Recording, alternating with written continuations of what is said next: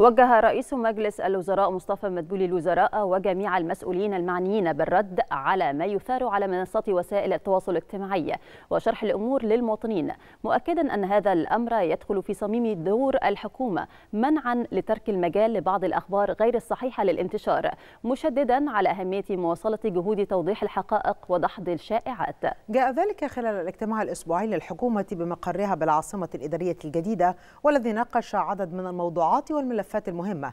خلال الاجتماع تناول رئيس الوزراء مشاركة الرئيس عبد الفتاح السيسي في قمة تجمع بريكس وبريكس بلس مشددا على ضرورة وضع النتائج الاقتصادية للقمة نصب أعين الحكومة. والسعي لتعزيز التعاون مع دول التجمع وتكثيف تبادل الخبرات في مختلف المجالات.